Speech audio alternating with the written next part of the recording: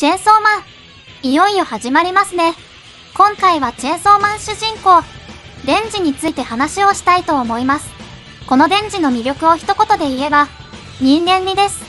人間ではないデンジですが、セリフの至るところに自分の隠せない欲望が現れます。